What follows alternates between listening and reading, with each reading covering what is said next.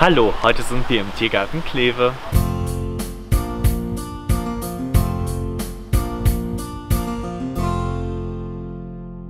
Seit Ende letzten Jahres halten wir wieder Ursons im Tiergarten Kleve, haben damals angefangen mit einem Männchen, Baumstachler Bruce, äh, der in diesem Jahr im Juni in die neue Anlage umziehen durfte. Und wir haben jetzt seit wenigen Wochen auch ein neues Weibchen endlich gefunden für unseren Bruce. Und die kleine Dame kommt aus dem Zoo Hoyerswerda und darf bald das erste Mal dann auf Baumstachlermann Bruce treffen.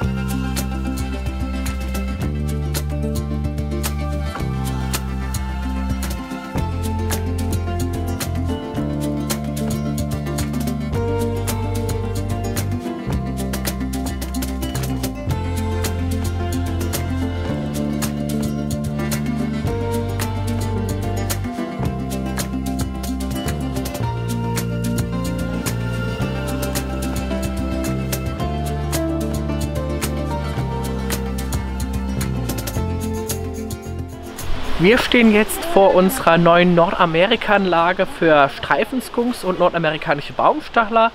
Man sieht, die Anlage ist in zwei Bereiche teilbar, dass die einzelgängerisch lebenden äh, Skunks und Baumstachler auch bei Bedarf voneinander abgetrennt werden können. Vergesellschaftung mit Stinktieren und Baumstachel funktioniert bei uns sehr, sehr gut. Meistens gehen sich beide Arten aus dem Weg. Die Stinktiere eher am Boden anzutreffen, die Baumstachler teils am Boden, aber doch meistens oben in den Bäumen auf den Baumstämmen. Wir haben verschiedenste Klettermöglichkeiten für unsere Orsons verschiedene äh, PVC-Rohre, wo dann mehrmals täglich öffentliche Äste reingestellt werden können für die äh, Laubfütterung, die ja bei Ursons sehr, sehr wichtig ist. Wir haben Weinfässer aufgehangen, verschiedene Versteckmöglichkeiten, Holzkisten angeboten, dass insbesondere die Baumstachel auch bei Regenwetter gut geschützt sind. Wir haben für die verschiedenen Bewohner hier auch verschiedene Kisten angelegt. Einerseits hier ein Unterschlupf für die ähm, Baumstachler vorne mit einer Plexiglasscheibe, dass die Besucherinnen und Besucher auch die Tiere bei schlechtem Wetter sehen können. Das heißt, da können wir unsere Ursons auch bei Regen füttern.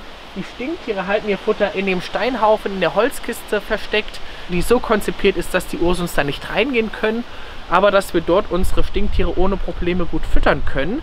Das hat den Hintergrund, dass wir so sicherstellen, dass die Ursons nicht an das Futter der Fleisch- und alles fressenden Stinktiere gelangen.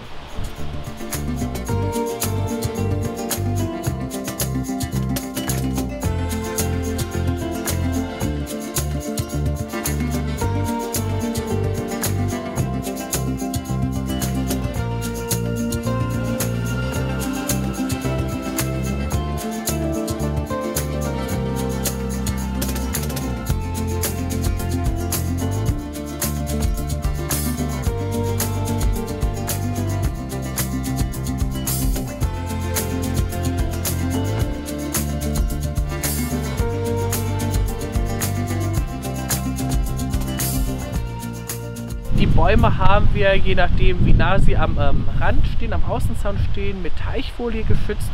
Hinter mir sehr, sehr schön zu sehen. Die Stinktiere haben im Bodenbereich verschiedenste Versteckmöglichkeiten, angefangen von den Steinhügeln hinter mir, wo Betonröhren drin sind. Dann die Holzkiste hier vorne ist im Moment der Lieblingsschlafplatz unserer Stinktiere. Ansonsten haben sie noch andere Holzkisten überall an der Anlage verteilt. Und für die Stinktiere auch ganz schön, die Anlage hat verschiedene Boden.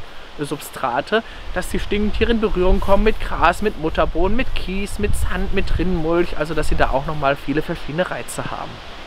Wir haben uns ganz bewusst für eine naturnahe Gestaltung der Anlage entschieden, auch eine naturnahe Umzäunung gewählt mit den Schwadenbrettern in unterschiedlichen Höhen, die aber immer wieder durch Gucklöcher unterbrochen werden. Das heißt, unsere kleinsten Besucher äh, können hier immer mal wieder einen Blick in das Leben von stinkenden Baumstachler werfen und hin und wieder gibt es auch so Einbuchtungen, wo unsere Gäste, unsere Besucherinnen und Besucher sich auch mal äh, ausruhen können auf den Bänken und mit Klarschein auch nochmal einen gitterlosen Einblick auf Baumstachler und Stinktiere erhalten.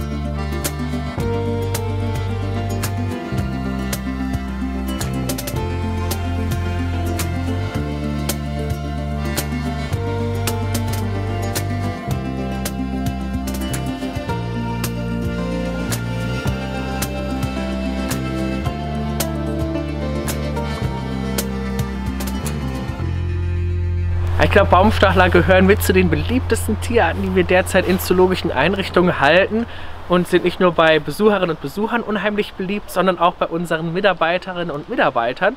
Und so hat jeder ein bisschen was zu dieser Anlage beigetragen. Unsere Handwerkerinnen und Handwerker haben den Innenausbau gemacht, die Gärtnerinnen und Gärtner haben hier draußen mitgepflanzt, die Tierpflegerinnen und Tierpfleger haben hier die Deko gemacht mit dem Türschild hier von Bruce, das Geweih aufgehangen, so ein bisschen die Deko-Elemente äh, aufgehangen. Unsere Biologin hat die Gardinen hier selber genäht, also hat jeder ein bisschen was zum Gelingen dieser Anlage beigetragen.